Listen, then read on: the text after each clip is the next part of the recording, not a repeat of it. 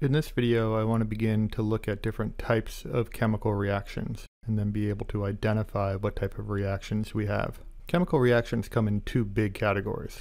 The first category is called a double replacement reaction. Sometimes these are referred to as double displacement reactions. A double replacement reaction can either be a precipitation reaction or an acid-base reaction.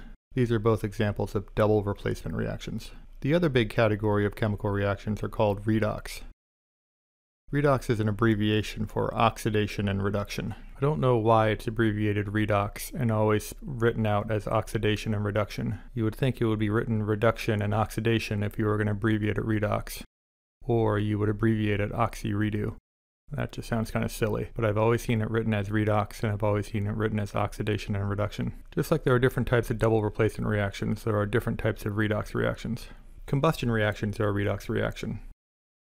Now the book doesn't treat this as a separate category of redox reaction, but I like to think of them as their own category. You have combination reactions or synthesis reactions, and then you have decomposition reactions, and you also have something called single replacement. Single replacement sounds like a lot like double replacement, but a single replacement reaction is a form of oxidation and reduction. In this video, I want to focus on the double replacement category. Double replacement or double displacement reactions follow this pattern you have two chemical compounds. These are usually ionic compounds. So that you'll have a cation and an anion bonded together, and then a different cation bonded to a different anion. And what happens is, in the reaction, they switch partners. The cation from one compound will combine with the anion from another, and then the cation from the second compound will combine with the anion of the first, and you get these products. In class, I'll describe this as a high school dance where two couples are dancing and they switch partners. Here's an example.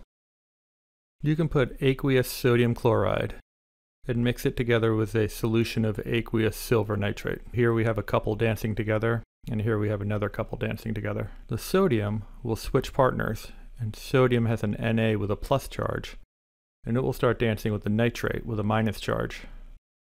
And the silver with a plus charge will start dancing with the chloride with a minus charge. And as a result, you'll get these new dance partners, the sodium nitrate and the silver chloride.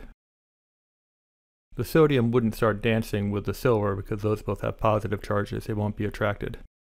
Likewise, the nitrate won't start dancing with the chloride. So these are the only possible products. I want you to note that in this particular equation, we end up making a solid as a product. This is referred to as a precipitation reaction. You start with two aqueous solutions, in this case the sodium chloride and the silver nitrate, and you end up making a solid product. Let's look at one more double replacement reaction.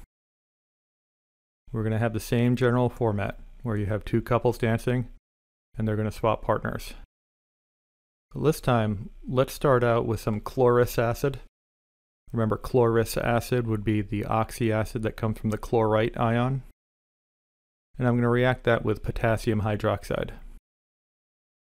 Again, I have two sets of partners dancing. I've got the hydrogen ion and the chlorite ion, and the potassium ion and the hydroxide ion. When they swap, the hydrogen is going to start dancing with the hydroxide, and the potassium is going to start dancing with the chlorite.